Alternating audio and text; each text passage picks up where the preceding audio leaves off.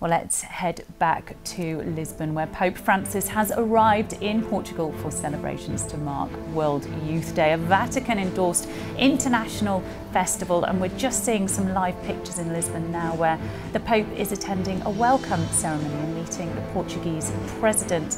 And it is likely, though, we're seeing wonderful pictures now, but it is likely that this visit may be overshadowed by a recent official report detailing the sexual abuse of nearly 5,000 children by Portuguese clergy, mainly priests, over a 70 year period. Well, let's cross live now to Alison Roberts, who is in Lisbon for us. And Alison, we're just seeing that lovely welcome ceremony, but in the backdrop, there are some serious allegations and a serious report that may overshadow this.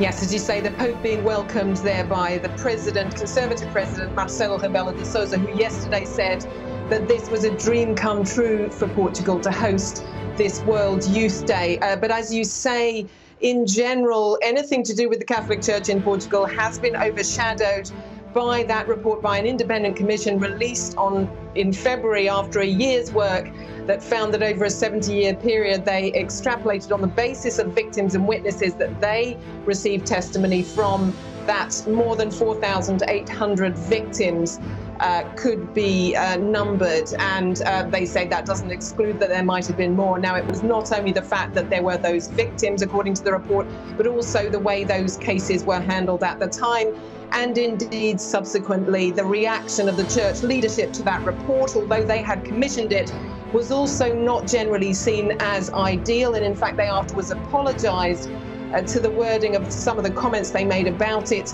And this is, of course, an issue that Pope Francis himself has made a very central one to his papacy repeatedly urging uh, the leadership of churches in different countries to get a grip on this problem and deal with it. And he'll be meeting with some victims uh, in Portugal while he's here, but that meeting is going to be extremely discreet. According to the Cardinal Patriarch of Lisbon, the most senior, senior churchman here, even he didn't know where it would be taking place.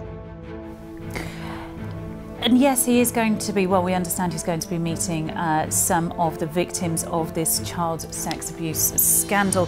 Uh, but also, not only looking back, he wants to look forward, doesn't he? He's outlined some potential reforms for the church. That's something that's been very characteristic of his papacy, of course. Um, he's not only outlined reforms, but he's also asked the national churches to come up with their own suggestions for reforms. And in fact, Portugal's church, although it is has been seen by some as quite conservative, has put forward some quite strikingly liberal ones, one might say, such as, for example, suggesting that uh, married men could be ordained priests and also that the church should do more to embrace different types of families. So, certainly in some parts of the church here, Francis will have some support on those grounds.